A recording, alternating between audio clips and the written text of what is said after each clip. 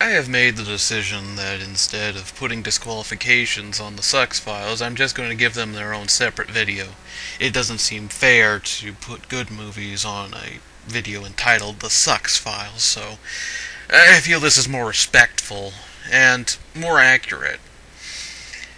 This time around, we've got two disqualifications. These were both requests. Um, they are The Mummy Returns and The Mummy Tomb of the Dragon Emperor. Now, the reason these films are disqualified is because they are not what I consider horror films. They are fantasy films. Which, uh, sorry to say, because the original was such a good horror film. It's kind of odd. The Mummy Returns actually has a storybook ending as the beginning. Uh, you see, after the mummy, Rick and Evy got together.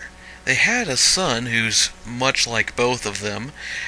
They go on digs together. Evy is much more adventurous than she was before, and certainly seems more capable of handling herself, and she is. They all live in a really big house. They got artifacts everywhere and statues and all that sort of thing. It feels like the kind of house that Evy and Rick would live in. Evy is also well respected by the Bembridge scholars now. They, in fact, want her to run a museum. So, I, I like that they did that. There's a lot of films where the sequel makes me absolutely hate the writers because they start off the main characters in such a poor condition. I don't feel that it's right that people would suffer between movies and all of a sudden everything's hunky dory in the second film. So this was nice. As far as my feelings towards the movie, I felt that they overused the CGI a little bit. They went heavier on the comedy. I think they were trying to make this more of a family film than a horror film, which I don't like either. And other than that, there was some nice action, good music, and this film was still entertaining. It's just not the kind of film I want to review. So, it's worth watching. It's just not going to be the same as the original. As far as the Tomb of the Dragon Emperor is concerned, I'm not going to go into a lot of detail because I only watched 15 minutes of the film.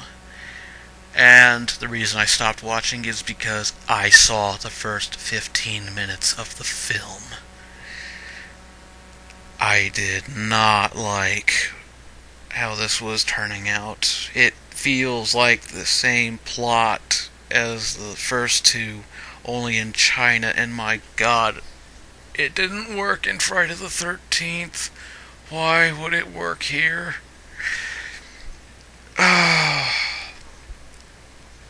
The whole idea is that in China, there aren't mummies, there's just a huge army that has been turned to stone, and the Dragon Emperor, as he's called by the title, is the emperor who conquered all of China.